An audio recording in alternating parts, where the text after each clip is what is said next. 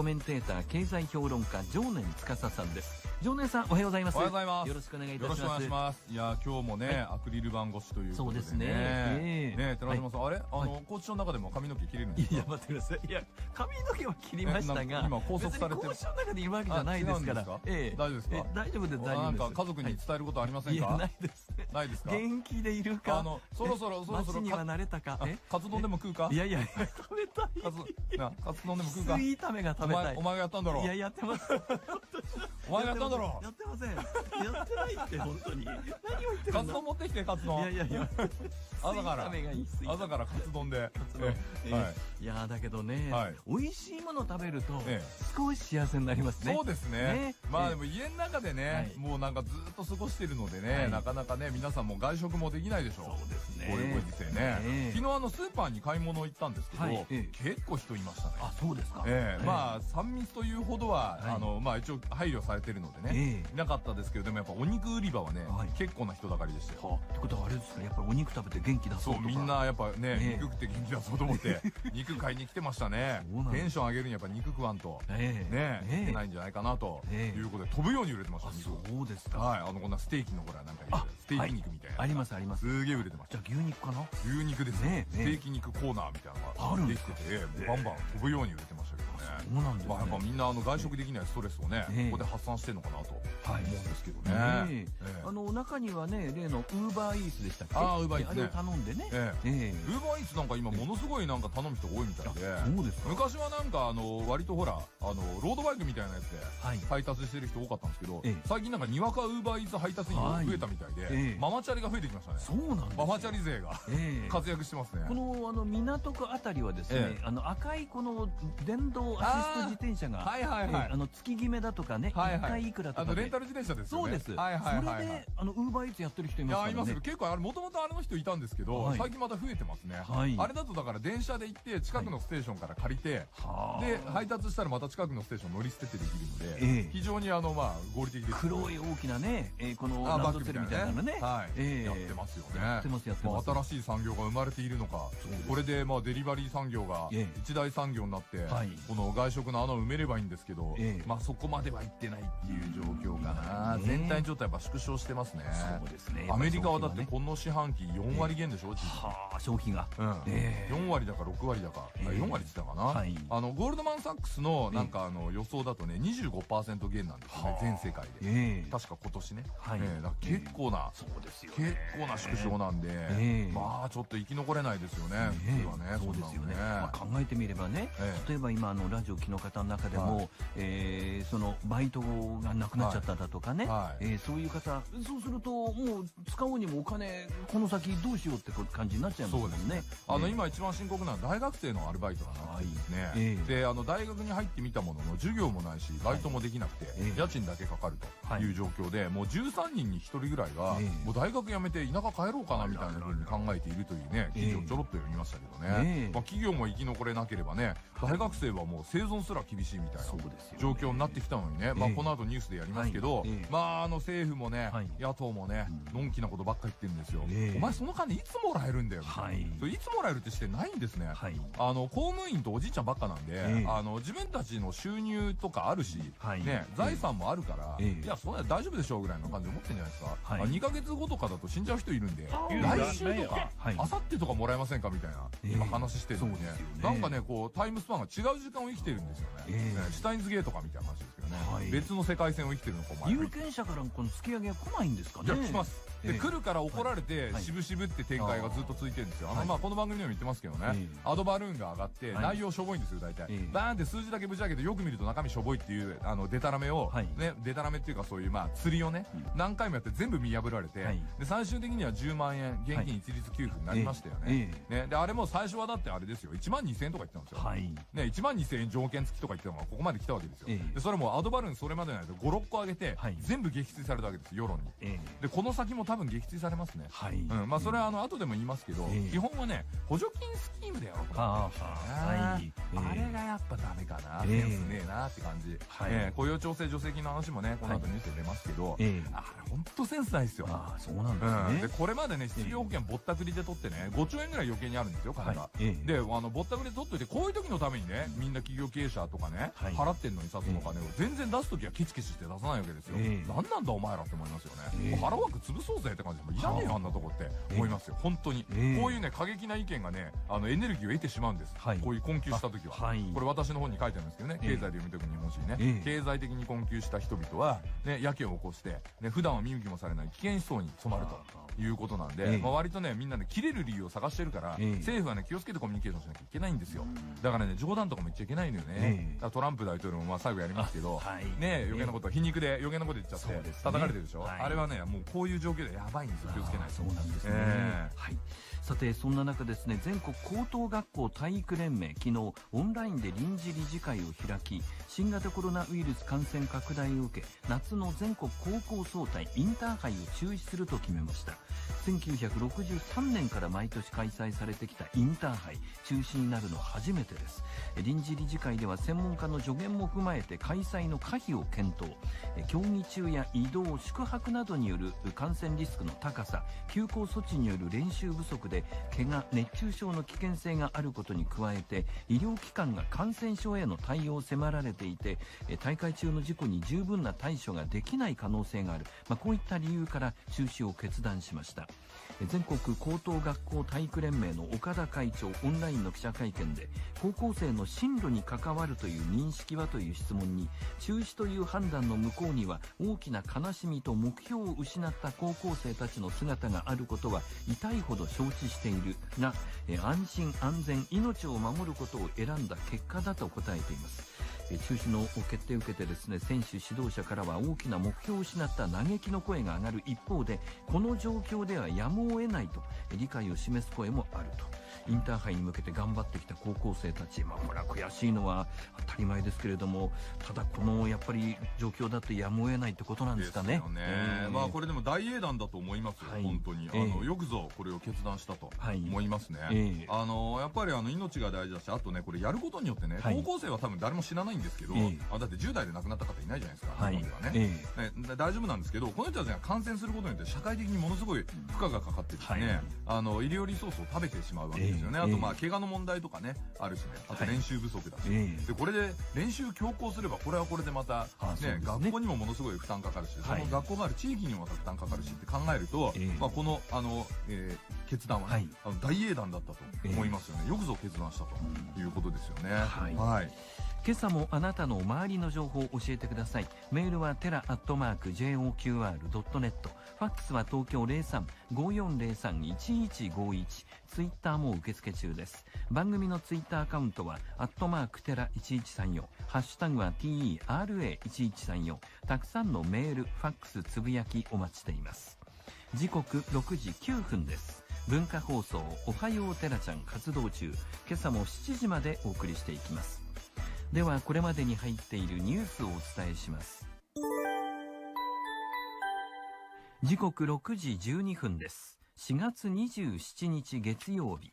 今朝のコメンテーターは経済評論家常年司さんです。改めて常年さんよろしくお願いします。よろしくお願いします。今朝もいろいろニュースが入ってきています。常年さんに話を聞くこのコーナー行きましょニュース目玉焼き。うまずはこのニュース。日本経済新聞。配当より雇用維持をコロナ対応で機関投資家が転換新型コロナウイルス感染拡大で雇用不安が高まる中、世界の機関投資家、企業に従業員を守るよう求めています。え運用額およそ5800兆円の団体、国際コーポレートガバナンスネットワーク、今月23日、企業に解雇を避けるよう求め、配当が減ることを容認する姿勢打ち出しました。えこうした動きについて日経新聞は新型コロナウイルスによる雇用危機では能力のある従業員を失う方が長期的に競争力が落ちるとの考えが投資家の間に広がっている。こういうふうに伝えています。ジョネさんこのお機関投資家がですね配当より雇用維持この動きどうご覧になりますか？はい、正しいと思います。はい。あの、ここでですええ。ね、あの、要は利益を優先して、あの、まあ、いわゆるその、まあ、設備ですよね。はい。お金を生むためのその設備をですね、まあ、人間も含むですよ、はい。人的ネットワークも含むそういう設備をですね、あの、解散してしまうと、はい。その金の卵を産む、ね、あの、鳥自体を食べてしまうと。ええ。なんで、卵が維持、あの、産む、埋めるように、はい。ずっと維持することが大事ですから。これあの、あれですよね、田中秀富先生が多分、あの、おっしゃってるかもしれないですけど、IMF が進めるね、はい。政策イノベーションの、あの、フェーズ1ですよね。ほうほうまず緊急事態に対応して、ええあのまあ、えー売上ゼロでもですね、はいとりあえず現状維持をするとええいうことで、で、あの、機関投資家もその基準を変えてきたとはいいう動きですよね。ええまあ、その政策イノベーションに連動した動きかなと私はこれ見ましたけどね。はいはい。え投資家が連携して製薬企業へ開発などでの協調を促す動きも出ていますオランダの年金基金 PGGM など50以上の投資家連名で医療機関などのサプライチェーンの維持に協力しデータを抱え込まず共有して研究開発を進めるよう求めました。えこういう動きについてですね日経新聞短期的な利益追求よりも社会の課題に向き合う方が長期的な成長につながると株主の考え方が変わってきたと伝えています、えーまあ、このオランダの年金基金なんかもおこの企業にね。はい。えー。これすごいわかりやすいですよね。はい。要はその、今、あの、我々が維持しているこの文明が、はい。えーこの病気によってですね、滅んでしまったら、はい将来にものすごいツケが残るじゃないですか。えーだから、まあ、一時的なですね、まあ、利益、配当等も諦めて、はい。で、それからその著作権ね、ええ。知的財産権とかもある程度もうちょっと諦めて、はい。まずはこの病気を乗り切って、はい。ね、社会を正常化することが最優先だと。えーで、そのためには、もうその配当とかもいいからとはい。いう姿勢ですよね。ええ。もう財務省に聞かせたいですね。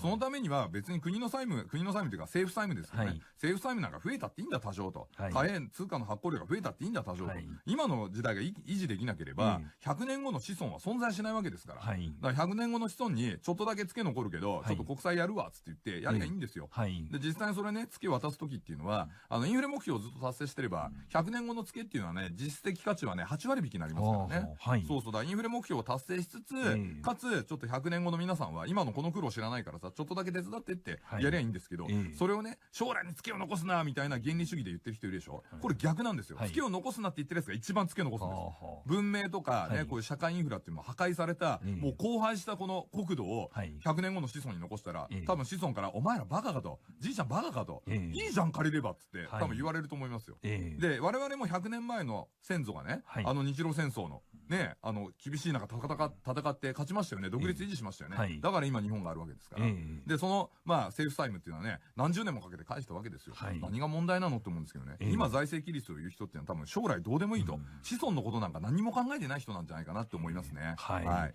未来を考えれば今あのジョーネさんおっしゃったみたいに、まあ、企業を含めた現状維持ですよねそうですねねえはい。この文明を維持することにエネルギーの全てを使うべきで、はいで、その文明を維持して継承していくことが子孫にその資産を残すことになるんですが、はいええなんかその帳簿上のね、あのー政府債務の金額ばっかり見てね、それを減らさなきゃいけないんだみたいな原理主義でまだ語ってる人がいるので、ええ本当に恐ろしいなと。で、意外と高学歴の人がそういうこと言うんですよね。ええお前のその学歴は何なんだと。まあ、あの、試験エリートの限界。そういうふうに私は思いますけどね。はいはい続いてはこちらスポーツ報知新型コロナ東京都の感染者13日ぶり2桁え東京都は昨日新型コロナウイルス感染者が新たに72人確認されたと発表しました。1日あたりの新規の感染者が2桁台となるのは13日以来13日ぶり。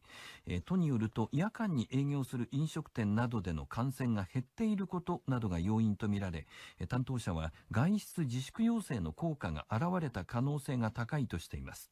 小池知事インターネットの動画配信で気を抜くわけにはいかない。5月6日まで外出を控えてと改めて呼びかけています。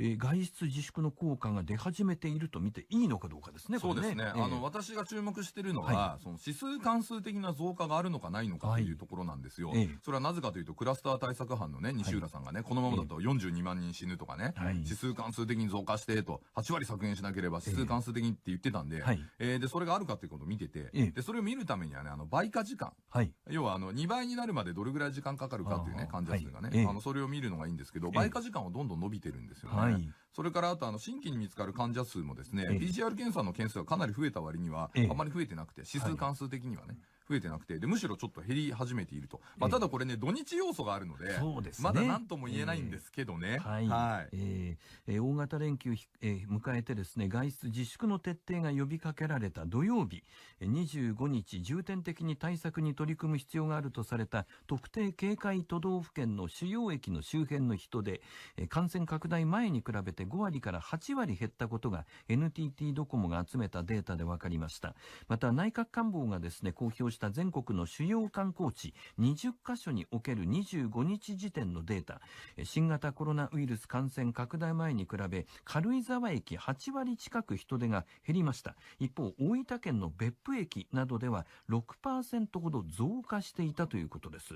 えー軽井沢は減ったんだけれどもお別府は増えたっていうね、まあ、別府市長、長野さん、頑張ってって感じですけど、ただ、これもね、ええ。要はその、8割減らすことが自己目的化してないと。はい。あの、実際にはその減らさなくてももしね、感染そのものが減らせたらいいわけで、ええ。あんまり8割8割原理的に言うのはどう、原理主義的にね、ええこだわるのはどうかなとは思いますけどね。はい。だって実際には8割の目標って達成できてないですけど、ええ。なんかちょっと感染のピークは過ぎたっぽいし、ええ。あの、西浦さん自身がはい。感染は減ってますって認めたんですよね。はい。ただなんかその十分ではないと。まあ、え上から目線なんですけど結構。え ね。え、いやもうあなたのその一言に全国民振り回されてるんだからさって思うんだけど、ええ。まあそういう計算なんじゃね、しょうがないですけど、えええ。まあでもね、あの、減ってるのは事実なんで、で、なんか日本みたいなね、ええ。割と緩めのロックダウン、日本よりも緩いのかな、はい。スウェーデンとか香港とか日本よりちょっと緩いんですよね。はい。でも、すあの、香港なんてもう新規感染者ゼロですよ。ほうほう。あの、輸入感染以外はいないらしいですよ、ええ。香港。で、はい。レストランも営業再開してるんですよ。ええ。ただね、ルールがあってね、あの、席1個開けなきゃいけないとか、はい。ええ。4人以上はダメとか、い。なんかそういうルールがあるんですけど、だそういうなんか、ちゃんとルール決めて、あの、移りにくくなるような。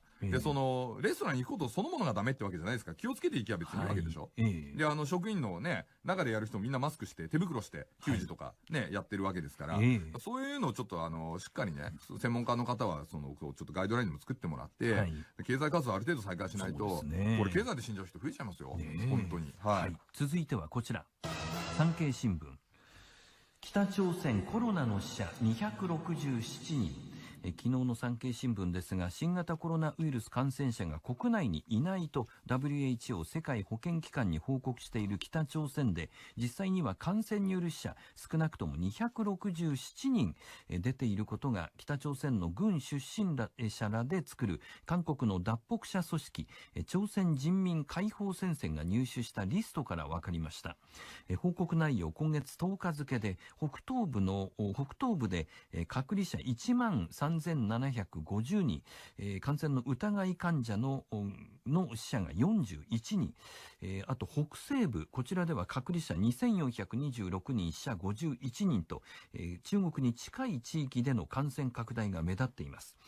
地方からの移動が制限される平壌でも125人の隔離と5人の死亡が報告されたといいます。え重複の可能性はあるものの報告された人数合計すると隔離者が4万8528人死者は267人に上っていると、まあ、真偽のところは不明なんですけれども、まあ、こういう情報もある。まあ当然ですよね。ね。だってあの、チャイナとの密貿易を止められないでしょ。はい。あの、それしないと、春はほら、飢饉が来るので、ええ北朝鮮は。はいあの、ご飯はあってもおかずがないみたいな状況でね。ええまあ、これはそれこそ水曜日の篠原さん詳しいですけど、はいあの、そういう状況なので、ええあの、攻撃したら当然ね、はいあの、チャイナからウイルス入っちゃいますから。ええだから軍を中、軍を中心に、あの、こういう、まあ、感染が広がってると私は聞いてますけどね。はいはい。その北朝鮮と言いますと、金正恩委員長がですね、心血管系の手術の後、渋滞に陥ったという、まあ、こういう情報も伝えられています。まあ、こうした中、北朝鮮国営ラジオ朝鮮中央通市中央放送は、え昨日朝、金正恩委員長が、えー北部のおこの整備を支援した勤労者らに感謝を送ったと伝えています。まあ、ただ、日時には触れられていないんですね。依然、健在かどうかが確認できていない状況です。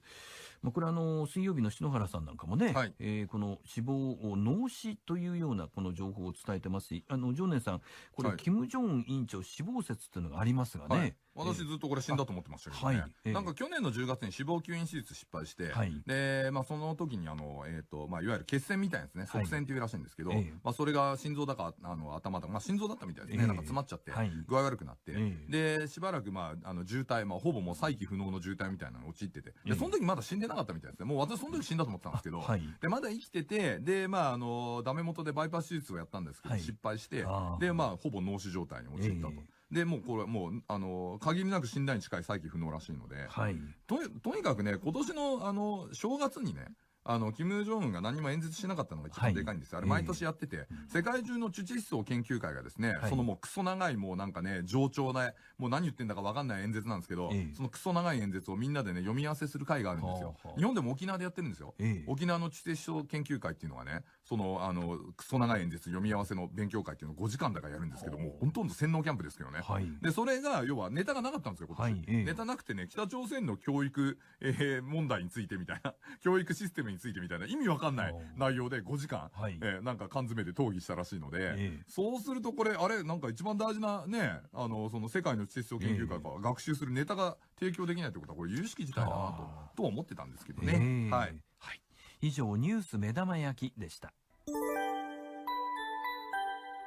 時刻6時30分です。今朝のコメンテーターは経済評論家常年司さんです。この時間、常年さんにお話しいただくテーマ、こちら。日銀国債の購入80兆円目処を撤廃か。日本銀行の金融政策決定会合というのは通常2日間開かれます。で、次の会合というのが今日と明日なんですね、予定が。ところがですね、会合密閉密集密接、この3密の条件が重なる恐れがあるということから、今回の会合は2日間の日程を1日に短縮する方針だということです。ジョルナさん、これはいかがですか、まあ、これはね、事務方がなんか主導してやったらしいですけどね、あーはいまあ、こういうご時世ですから仕方ないですよね。ええまあ、日銀政策決定会合といえばね、はいおはようテラちゃん、元コメンテーター大集合の会と言われておりまして、そうですね。えー片岡さん、足立さんね、はい足立さん二人も。はい二人も輩出したという、9人の中の2人ですか、ね、由緒ある番組で、そろそろ総裁を出す時期じゃないですかね。そうですね。次は総こ裁れはもうよく耳にする人がいますよ。ですよね、ええ。次は多分総裁だと思うんだよな、ええ。俺、スケジュール。もうね、ラジオ機のあなたの前にもううず高く現金が積まれるねかもしれない本当ですよ。ねもうえ。え私もいつでもね、スケジュール開けられるようにして待ってるんですけどね、ええ。なかなかご指名かかんなくてね、ええ。ええあの、安倍さん聞いてますか、みたいな。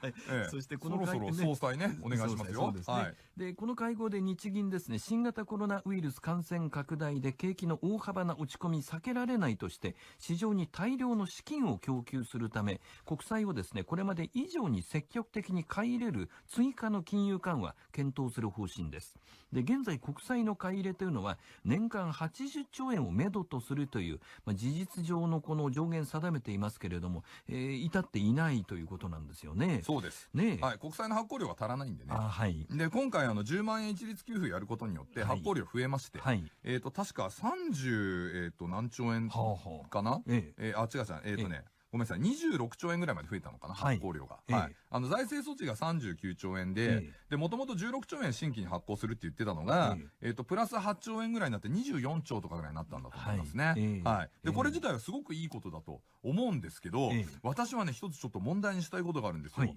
今回このニュースが出ているってこと自体がええ犯罪です。犯罪ですか？犯罪です、このニュースは。はい。えーこれはね、先週の、えー土曜日かな、もうあのーブラックアウト期間に入ってですね、はいもう日銀に取材しちゃいけないっていう時期に、はあ日経新聞から出たんですよ。えで、どうも関係者を取材したみたいな匂わす感じで出たんですけど、ええもしその関係者を取材してこういう情報を漏らしていたとしたらですよ、はいその関係者はええ公務員法違反ですよね日銀職員は準公務員ですからね。はいそれから書いた日経新聞の記者、これええ風雪のルフですよ。インサイダー取引ですもん、巨大な。はい。ということで、これね、多分逮捕案件ですよあ。東京地検の皆さん聞いてますか？ええこれ毎回こういうの出るんですよ。はい。前なんてね、日銀の政策決定会合のええ昼休み入ってる時に、ええあの NHK が速報を打ったりとかして、ええ誰が漏らしてんだって話ですよ。はい。これ本当もうその場で全員捕まえてですね、もうメールとか通話の履歴取って、えやるべきですよね。あの日銀の監視カメラとか全部やってね。はい。こういうのを繰り返されるとすごく問題で、ええなんと先週の金曜日の夜のシカゴの日経平均先物がこのニュースで動いちゃってるんあですよ。、そうなんですか。ダメですよ、こんなの。アウト。はあ。はい。先週のね、金曜日のジョネトラダムスウィークエンドでもですね、はい私このこと言ったんですけど、ええこのニュースが今出てて、で、今もうこれ全部後追いしてね、はい。あの、このニュースもいろんな、そうですねメディアで NHK とかも出ちゃったでしょ？ええ。これはまずいと思うんだよあな。うーーん、ダメですよ、もうこれ。情報が出る自体がもうダメだと。そうだ、日経新聞はね、ええ日銀との特別なパイプをアピールしたいんだと思うんですけど、はいあの、ぶっちゃけそのパイプ、はい犯罪です。ええ。はい。はいもう今すぐやめてほしいですね。もう載せる方も載せる方ですよね。ええもう日経新聞この件で俺は叩き続けようと思ってるんですけど、前にもこういうことあったんですよ。全然反省してない。ええ。うん、困ったもんですね。改めてその2日を1日にこのね、はい。えー短縮して行われるこの中身なんですけども、はい。予想としてはやっぱりこれもう80兆円目処撤廃っていうこれですか？まあ、リークが出てるってことは、事務方からそういう案を出すんでしょ？執行部から。ええ。で、それをまあ、いろいろまあ、審議員の皆さんがああでもない、こうでもない言ってですね、はい。まあ、最終的には多数決で決まるとええ。いうことで、まあ、事務方がこれを出すってことが決まったんで、事務方がリークしたんでしょうね。はあ。審議員からリークするってあんま考えられないんで。ええ。で、それが多分あの、OB かなんかに喋って、はいで、その OB をあの、日経新聞が取材して、ええで、書いたんじゃねえかな。大体そんな感じですよ。はいで OB も誰が漏らしてるか大体名前分かってるんですけどね。あえて言いませんけど、名誉毀損になるんで。はい。とんでもない奴がいるなあと。そうなんだ日銀の独立性を守りたいんだったら、こういう姑息なことしちゃダメですよ、日銀は。ええもう全然ダメ。まあ、はい今回のこの会合でこの経済にとってはプラスになっていくんですかまあ、それはまあ、ええプラスになると思いますよ。はいあの、上限はね、撤廃した方がいいし、社債も買い入れ増やすんでしょはいだからその金融的なところはバシッとやるから、あとは政府がリスク取れって話ですよ。はいええだから問題はそこでね、政府がね、補助金スキームでもたもたもたもたして、ええいつ金出てくるんだか分かんねえと、はい。いうことをやってるので、ええもうだって10万円給付だってはっきり言って毎週やったっていいんですよ。はあね、田中ええ。秀富先生おっしゃってますよ。まあ、はい。毎週でも毎月でも10万円ずつ給付すればいいんですよ。ええ。終わるまで。終わったら、あとはもう全力で働いて、ね、みんなでじゃあね、あのそのまあ、しっかりした経済インフラを残していこうと子孫にね、はい。それで何が問題なのって話ですよね。はい。はい。また後ほどお話伺います。時刻6時41分です今朝のコメンテーターは経済評論家常年司さんです。今朝もいろいろニュースが入ってきています。スポーツ日本の記事紹介しましょう。大阪府昨日新型コロナウイルス対策の休業要請に応じず店名店の名前を公表していたパチンコ店6店舗のうち新たに1店舗が休業したと発表しました。すでに2店舗が休業していまして引き続き営業しているのは堺市の3店舗となりました。こうした中大阪府の吉村知事とタレントのラサール石井さんがツイッターで論争を繰り広げています。ラサールさんは大阪府が店名店の名前を公表したパチンコ店に大勢の客が集まったことについて宣伝した結果になるのわからんかったんかななどとツイッターで批判しました。これに対して吉村知事は休業要請後に開店している店が120店舗だったことを明かし住人の苦情や専門家の意見をもとにさらに絞った結果として現在の3店舗を公表したと経緯を説明しました。その上でここだけ捉えてわからんかったのとはお気楽な立場だよ。影響力ある立場なら今だけはやめときましょうくらい言えないのかねと苦言を呈しました。東京都の小池知事も都の休業要請に応じず営業を続けているパチンコ店の店名え公表する考えを明らかにしています。この店名の公表を含めて常念さんいかがでしょうか？そうですね。まあ、まずあの、吉村、あの、知事のコメントなんですけど、はい影響力ある立場ならと言ってですね、はい。まあちょっとラサールさんのこと持ち上げます、持ち上げてますけど、ええ。あ影響力ないんで、あの心配しなくていいと思います。そうですか。ええ。はい。はい。で、ええ。今だけはやめときましょうねぐらはい。い言えない程度の常識しか持ってないので、このタレントさんは、はい。あの、もう言うだけ無駄なんで、えええ放置でいいと思いますね。はい。はい。ええ。で、あのまあ、休業要請に応じず営業を続けているね、店名公表云々の前にですね、そもそも休業停止、あ、あというか、ええ。休業命令を出せない、はい。あのね、営業停止を命令できない今回のこの法整備、はいこの立て付け、非常に問題があるのではないかと。ええまあ、元はといえばこれあれですよね、民主党政権時代に作った新型インフルエンザに対応するための、まあそういうね、緊急事態、はいえー措置をベースにしてるわけですけど、ええ法律の立て付けが非常に問題でですね、はいあのまあ、緊急的な措置をほとんど取れないええ感じですよね。はいお願いしかできないと。ええいうことなので、まあ、そもそもそっちを問題にすべきなんじゃないですか？ええはい、そう思いますけどね。はいはい。さあそれではここからは常念さんにこのテーマで話を聞きます。企業の支援策家賃補助雇用調整助成金の問題点。東京商工リサーチによりますと新型コロナウイルスに関連した経営破綻が先週金曜の午後5時現在で全国で93件に達しました。2月は2件3月は23件でしたが4月は第1週が11件第2週15件第3週が15件第4週27件4月に入ってから一気に経営破綻する企業が増えてきているという数字が出てきていますが常念さんいかがでしょうか、はい、当然ですよね、はい。だって営業止まっててね、ええ。売り上げがないのに経費だけかかるでしょ、はい。で日本の経営者ですから、ええ。まあ、あの借金してでも給料払いますよね、ええ。もうでもそれも借金も限界まで来ると、もうこれ以上稼い借りられないですから、はい。家賃も払えないですから、ええ。そうするともう万歳するしかないと。これからもっと増えてくると思いますよ、ええ。はい、ぼやぼやしてるんでね、はい。政府はね、ええ。まあ、野党もそうですけどね。はい。えこうした中、与野党が企業への支援策として議論しているのが家賃補助です。え政府と与野党は新型コロナウイルスで家賃の支払いが困難な事業者への支援をめぐって協議を始めました。え立憲民主党などで作る野党共同会派20%以上収入が減った中堅中小企業、あと個人事業主対象に1年程度を念頭に一定期間、日本政策金融公庫が賃料をお肩代わりする案、これを主張しています。一方、自民党は中小企業などに補助金などを直接給付する案、これを軸に検討を進めています。この家賃補助ですが、常念さんいかがですか？はい、あの野党の案ね、はいちゃんと見てなかったんですけど、ええ。ろくでもなかったですね、やっぱり。あそうですか。どっちもダメですね。あうーん、だからはい。結局ね、その20%以上収入が減ったってどうやって証明するんだよって話ですよ。はい決算してみなきゃわからないんで、はい。で月次の資産表でいいのと。ええ。もいくらでも数字作れるよって話ですよ。ええ。バカだな、こいつらと。商売やったことないやつがやってんですよね。はい。で、自民党のはもう論外ですよ。これまたあれでしょ、補助金使ってやるんでしょ。はい。補助金はおせんべいだからお前ら何回言ったらわかんない岸田お前聞いてるかって感じですよね。はい。バカですね、ほんと岸田ってね。